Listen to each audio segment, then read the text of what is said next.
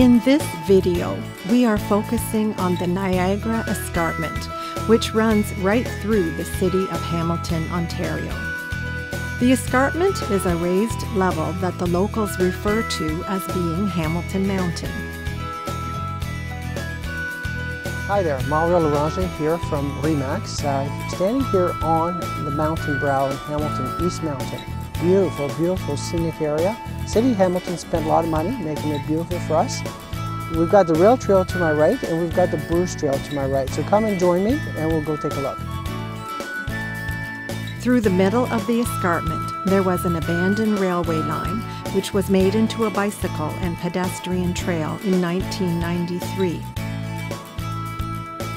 Most of the trail is asphalt covered and runs through the city for 32 kilometers. It continues all the way to Brantford, where it becomes part of the Trans Canada Trail. There, links are made to the cities of Paris and Cambridge and extends the trail to 80 kilometers.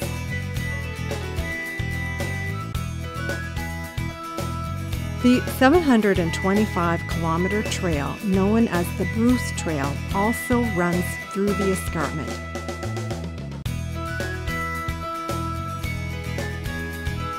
When we first moved to Hamilton from Northern Ontario in 1989, friends took us bicycle riding on dirt trails through the escarpment. We had no idea that such lovely forest was available to the residents of the city.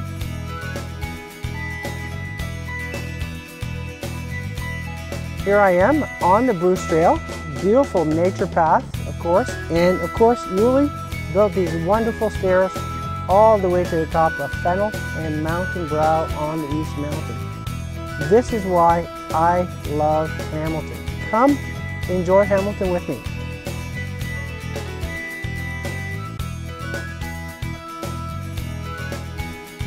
From the top of the escarpment to the bottom, there are several staircases that the locals use to travel from the top to the bottom of the city, but also as exercise.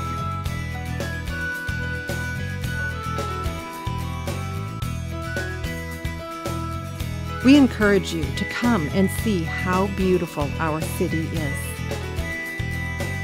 Hi, Mario Larange here from Remax Escarpment. My lovely wife, Pat, to my side. And she's always to my side, by the Hello. Selling real estate for 27 years. Enjoying ourselves. Love to help you find a home and or sell your home. Thank you.